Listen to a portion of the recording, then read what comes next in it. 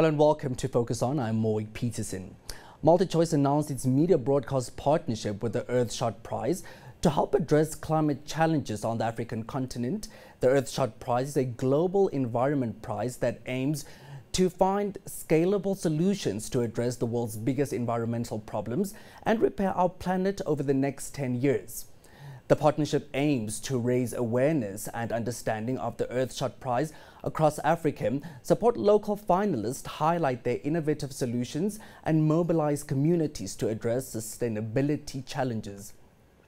Joining me today are Hannah Jones, Chief Executive Officer, the Earthshot Prize, and Imtiaz Patel, Non-Executive Chair, MultiChoice Group. Welcome to the show.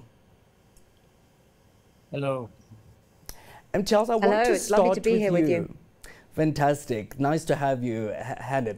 Um, Imtiaz, I want to start off, um, with you. What does climate change mean for Africa and MultiChoice? Africa is see is the biggest victim of climate change, not necessarily the biggest perpetrator, but the biggest victim. Uh, I'm here in Kenya. They're talking about three million people who are suffering from potential starvation, uh, directly as, as a result of droughts, which they believe is as, as a direct result of fundamental climate change. Now, if we want a sustainable Africa and we want a sustainable market, and we as a corporate citizen of Africa, then we have to be seen to be leaving our planet and our continent uh, in a better place than when we found it and when we were born. So I think as part of our overall responsibility as MultiChoice, we are extremely pleased uh, to be partnering the Earthshot Prize uh, in helping find entrepreneurs, innovators, and young Africans who have the ability to make fundamental change on the continent and ultimately uh, in the world. Now, Hannah, let me um, rope you in. The Earthshot Prize first launched in 2021. Could you briefly explain what the Earthshot Prize is about and if you have made any strides within the first year? Absolutely. Thank you. Yes. And the Earthshot Prize was actually founded in Namibia when Prince William, our founder and the president of the Earthshot Prize, was visiting a conservation project. And he had two observations that he felt like he wanted to intervene and do something about. And the first was that he was visiting a project that was really successful, but nobody knew about it. And it wasn't being scaled in a way that it could. It could have been a solution that would scale across Africa and many other continents. The second was he saw there was an awful lot of climate um, pessimism in the world and anxiety. And whilst we know that that can drive action sometimes, we also know that pessimism and anxiety can shut people down and they can feel para paralyzed. So, what he wanted to do was to inspire urgent optimism and help solutions that were already working to go to scale and to be known around the world. And in doing that, help to speed us towards repairing the planet. And then he was inspired by President Kennedy's moonshot challenge to the American people, in which by challenging them to land a man on the moon and bring him home safely in a decade, he actually unleashed a wave of innovation that fueled economic and social progress. And he sparked a mindset that we could turn the seemingly impossible into the possible if we applied human ingenuity, a bit of grit and determination, and lots of collaboration.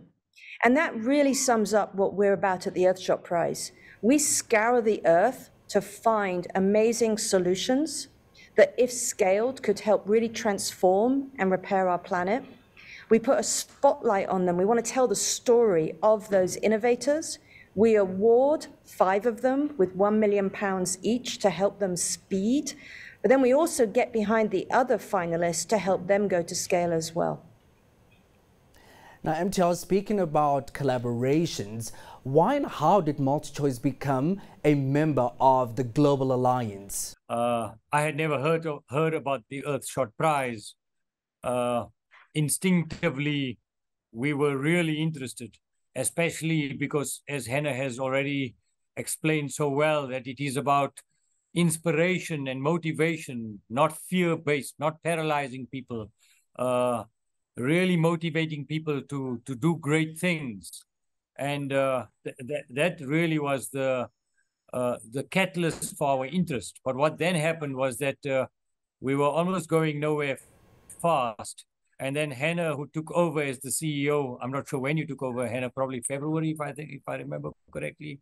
But uh, Hannah and I met in in London, and we had a workshop. It was the first time we met face to face. And again, the power of face to face meetings uh, cannot be underestimated. And we connected with her and her team uh, we were inspired, we were energized, and what's it? Three months later, we're sitting here announcing our very collaborative partnership, and we hope that MultiChoice will be able to showcase those very, very powerful, innovative uh, companies, uh, people, and institutions out of Africa in such a way that some of them will scale globally, and in other ways will motivate not only every African uh, but every other company to get behind this unbelievably positive project.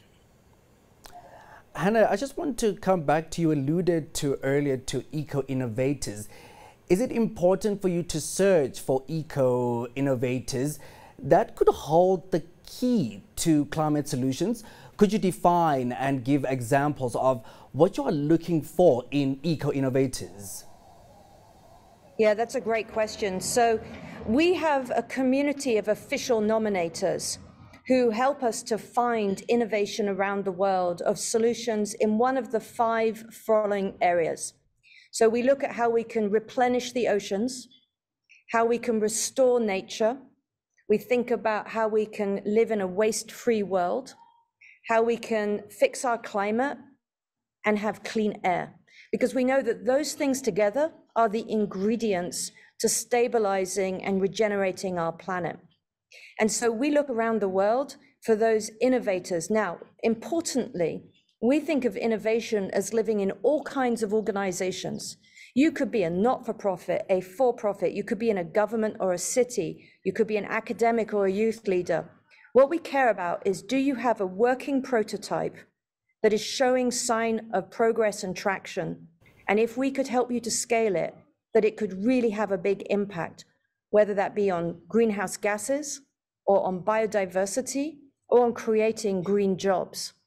And so that's what we do is we look for people that do that work. And we've just called it eco innovation because we think that there's actually a wave of people doing this kind of work and they're unseen and often unrecognized.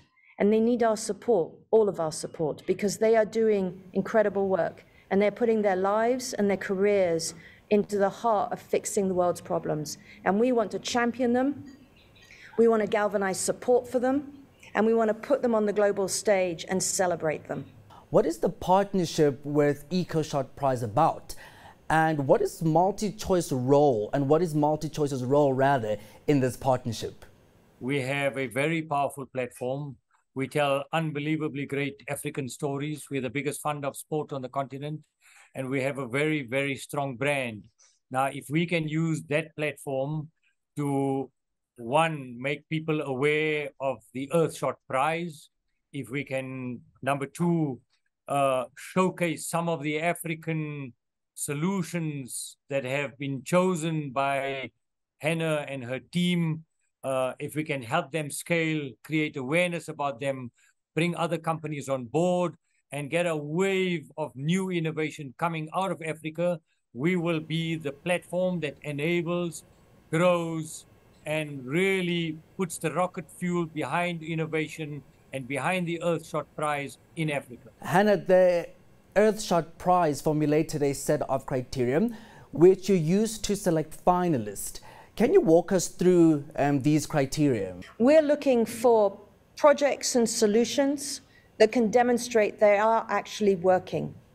We think that they've probably gone from beyond being an idea in the head to being a working prototype. And they're starting to have some success and they can point to their impact. So we want to know how are you impacting greenhouse gases, biodiversity, or green jobs? And then what we do is we're looking for stories that could really inspire. We want stories that will spark the world's imagination that the impossible can actually be possible. So we don't just want heavy tech or fintech. We want all kinds of solutions. And some of those will be very simple, but it's in that simplicity that you see how they could be scaled and easily reproduced. And we're also really looking for, for teams that are working well together. Now, we have some particular focus areas. So, for example, we want to make sure that we have a real geographic diversity, which is one of the reasons we're so excited to partner with MultiChoice, because we want to see so many more African nominations coming in. Last year, we had three African finalists. This year, I can't tell you how many we have, so you'll have to wait for the end of October for 22, but I think you're going to be happy. Let's see next year how many more African nominations we can get in.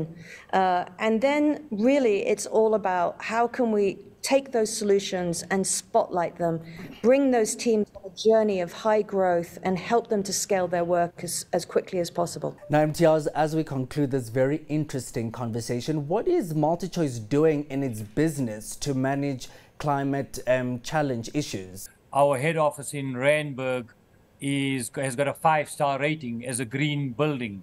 We support communities around us with solar solutions. The traffic lights in, in the Randburg area are solar powered, sponsored by us. We do a number of other initiatives like that uh, in the rest of the continent. But I think our responsibility goes beyond just the fact that we say we are doing our bit.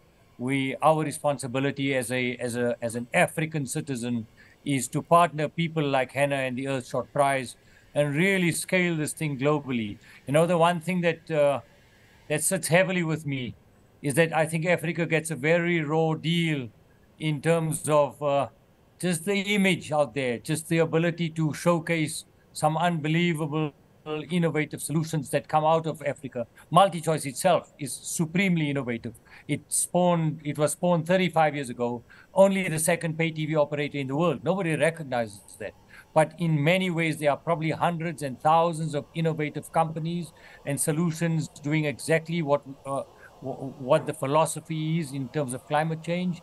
And I think if we can play our small part in enabling them, in showcasing them, and then get Hannah and the companies uh, that support her and her teams to help them scale. And really, for us, the dream would be if we can find in the next five years to 10 years one African company that comes through this process and comes up with a global solution that can be recognized globally, we will feel very satisfied about that. Well, that brings us to the end of this very interesting conversation. Thank you to my guest, Hannah Jones, Chief Executive Officer, the Earth Earthshot Prize, and Imtiaz Patel, Non-Executive Chair, MultiChoice Group. And to all our viewers, it is goodbye for now.